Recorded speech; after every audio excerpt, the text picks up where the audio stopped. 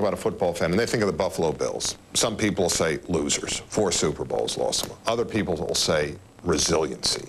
You're a native of Buffalo. How do you feel about them? Being a uh, Buffalo Bills fan really isn't being a fan, it's a way of life.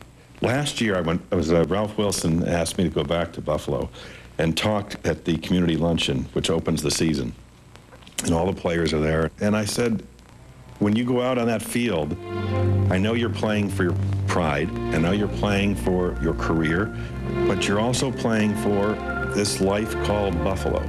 This life that it represents people who honestly believe that against all the odds, against some of the worst weather imaginable, they have a magnificent life that they're proud of.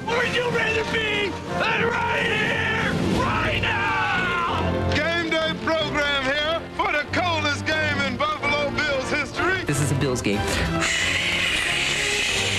Like that. That's the whole game is that. You're you're just going and then you jump up, yeah! You know, yeah! That's watching a football game in Buffalo. But they do it, and girls do it. Isn't that nice? How nice is it a city where you could take a girl to that? She puts the plastic bags on, she puts the batteries in her socks, and you go as a couple.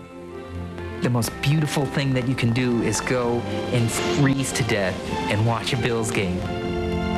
It was a great deal of joy playing for a town that was filled with a lot of blue-collar workers. We were out there busting our butts, doing everything we possibly could to bring a championship to that particular area. The Bills are worshipped in Buffalo, but perhaps no fan is more devoted to the cause than Jan Gallo, Vincent's mother. In Buffalo, we love Jim Kelly!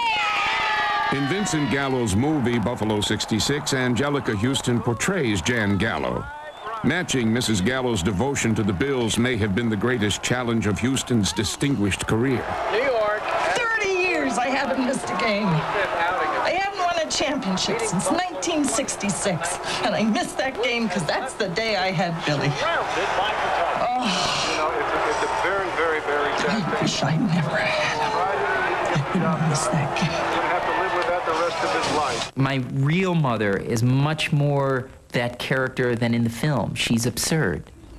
The house is a shrine to the Bills. I always tell the kids they could never get married during a Bills game because their mother would never come. I certainly never got the attention that the Bills did in our family. I missed a game in 84. My husband had an open heart surgery. I had no choice. He had a heart attack. Hopefully, he wasn't watching this game in the 1999 playoffs. Neal, and he, he throws a lateral, and down the sideline, only Christie down there to stop the play, and they're going all the way with it. It's Dyson going for the touchdown. Unbelievable. Unbelievable. This is insanity. Yeah. You look back at that football game, you shake your head and say, boy, when are the Buffalo Bills going to get out from this snake-bitten dark cloud that just sort of hangs around them? They can get so close, and then all of a sudden somebody snatches something away from them. A lot of people feel that there's this mass conspiracy to keep this town from winning a championship. Kelly's going to throw. Here's Haley. Hit him. You know that that's false. It makes no sense. I've heard them. I mean, I've heard people share these theories. It, it, it's like everybody's Oliver Stone around here. Further contributing to the conspiracy theories and confusion is the recent history of O.J. Simpson. He may be the greatest Buffalo Bill ever, but rarely is he thought of as a football player anymore. It was a blow, and it left people feeling pretty empty and, and, and I think uh, betrayed. Not our OJ, not the man who had brought so much excitement.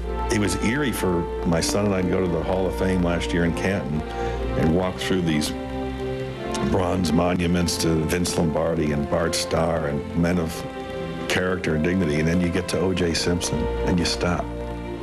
I didn't think about 92-yard runs. I thought about the crime.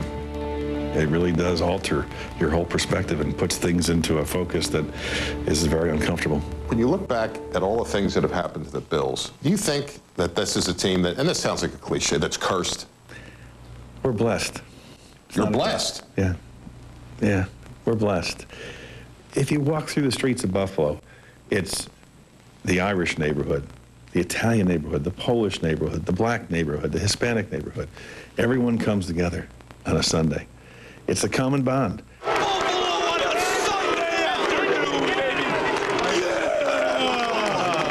we lose, we hate it, we take it personally, we feel the rejection. Those Super Bowls, oh God. Whenever the Bills would play uh, Dallas, I'd say, Dallas doesn't need this. They have big oil and big blonde hairdos and big skyscrapers. They have their own identity, and they play the Redskins. Washington doesn't need this. You have the White House and the Pentagon and the Congress. Buffalo, we have the Bills. That's who we are. We, sometimes we feel inferior, inferiority complex, but in the end, we know that also being a Buffalonian means getting up, dusting yourself off, and going back in. That's kind of the American way. A lot of times you get knocked right to your knees. And the people that are, that are made of something, and that's what our country's been made of, they get right back up and get right back at it. And I think that transcends into people's life each and every day. Someday our ultimate goal is going to be reached because our perseverance is there. We will never, ever stop trying to win this thing. If there's one play that symbolizes Buffalo's spirit, it's this one by Don Beebe, who lost four Super Bowls with the Bills before finally winning one with the Packers. Five's a charm, especially for Don Beebe. I'm gonna wear that ring this time. I'm standing behind Brett about 10, 12 yards, and he kneels down and it's finally over. I walked up to Brett and I said, Brett, you know, can I have that ball? He turned looked at me, gave me the ball. He says, man, he says, you deserve it. In winning that game, I was really, I was winning it, not just for myself, not just for my family, but winning it for all of Western New York, the Buffalo Bill players, organization, and fans. All people wanted in Buffalo was just one, just once to say, yes, our time has come. It's so magical. I can't tell you. One day, it's going to happen.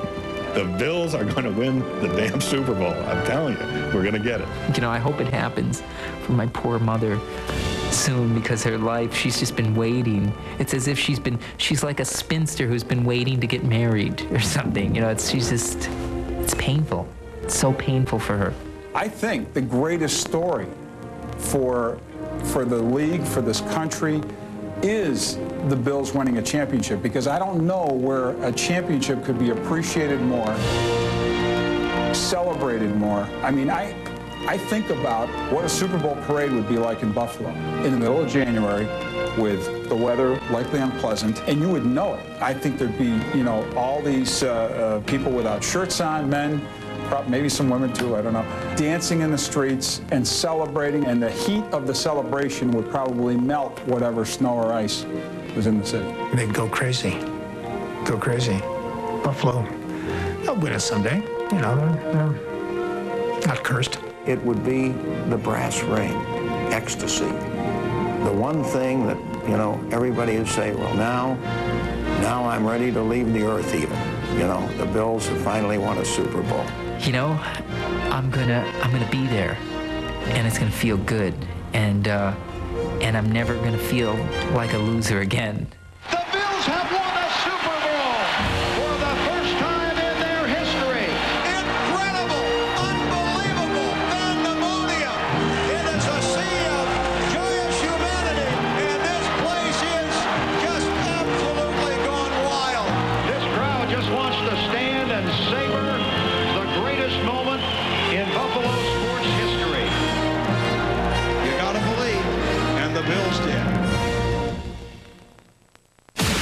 For more on the Buffalo Bills, log on to NFL.com.